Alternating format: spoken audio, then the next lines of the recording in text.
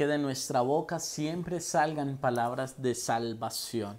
Es lo que expresa hoy el apóstol San Pablo allí en Antioquía de Pisidia cuando está reunido en la sinagoga. Les traigo un mensaje de salvación. Esa debe ser nuestra vida. El evangelizador siempre debe dar palabras de bendición.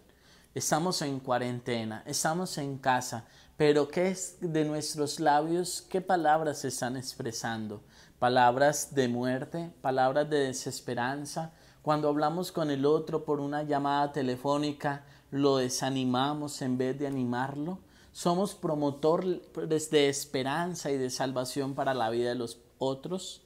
El cristiano debe siempre proclamar el nombre de Dios que de nuestros labios siempre salga una bendición para los demás. A veces vivimos pesarosos por todo y vivimos poniéndole el sentido negativo. Es más, perdónenme en eso que voy a decir, pero a veces me harta hablar con personas pesarosas, negativas, que siempre le encuentran lo malo a todo, que nunca le encuentran lo bueno, la bendición, siempre es todo lo malo, negativos por siempre. Y eso es cansón uno cuando habla con una persona de esas, uno se carga negativamente. Por eso, qué bonito es encontrarnos siempre con personas que evoquen palabras de bendición.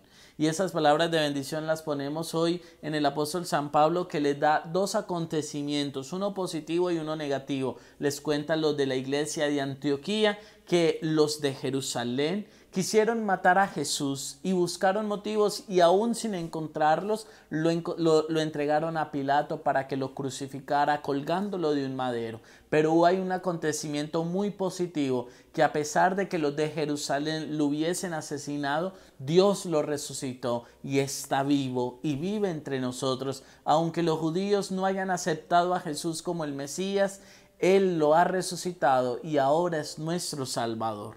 Por eso, cuando hablamos palabras de salvación, estamos diciendo, Cristo vive y no nos deja solos. Si en nuestra vida siempre hay palabras de bendición, estamos siendo luz, la luz de Cristo, la luz del resucitado en la vida de aquel que lo necesita.